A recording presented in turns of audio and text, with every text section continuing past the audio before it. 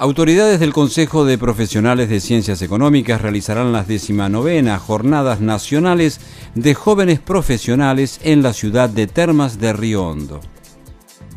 Estamos trabajando intensamente en la preparación de las decimonovenas Jornadas Nacionales de Profesionales en Ciencias Económicas, un evento histórico para nosotros eh, fundamentalmente porque convoca a todos los profesionales eh, del país, pero también por la alta calidad de los disertantes y conferencistas que hemos planificado y programado en esta oportunidad para los días 13, 14 y 15 de agosto en la ciudad de Termas de Río Hondo.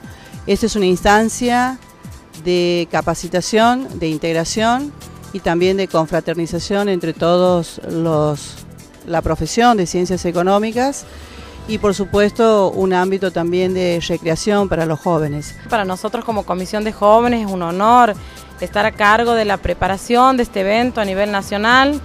Eh, tenemos la suerte de contar con disertantes de nivel nacional e internacional.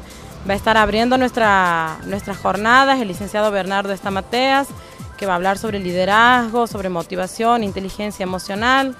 Y después vamos a tener a lo largo de las otras jornadas la presencia de disertantes como el licenciado Marcelo Rodríguez, el licenciado Luis Sirena. También les queremos contar que tenemos la, suerte y le queremos agradecer al rectorado que nos está otorgando becas para los alumnos. Tenemos 40 becas para estudiantes avanzados.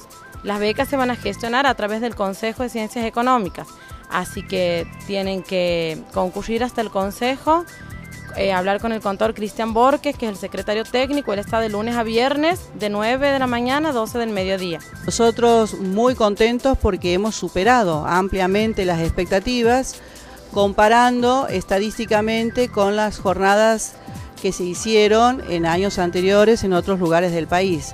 O sea que en este momento, digamos, vamos primero en el ranking en relación a la participación de los profesionales.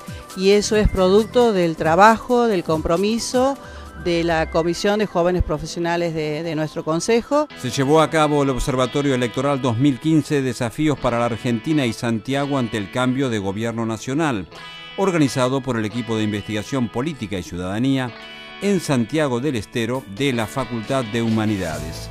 El ciclo abrió un espacio para la discusión entre partidos y la comunidad universitaria sobre temas relativos al proceso electoral. En el marco del Día del Ingeniero Forestal, la Facultad de Ciencias Forestales organizó el concurso fotográfico Un enfoque ambiental, destinado a todo público. Hasta el 10 de agosto se reciben las fotografías participantes.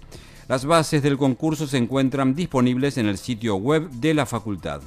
La Facultad de Humanidades informa que se encuentran abiertas las inscripciones para la diplomatura en lengua quichua. Para mayor información, los interesados pueden dirigirse al Laboratorio de Antropología de la Facultad en el horario de 8.30 a 12.30. Las inscripciones cierran el 12 de agosto.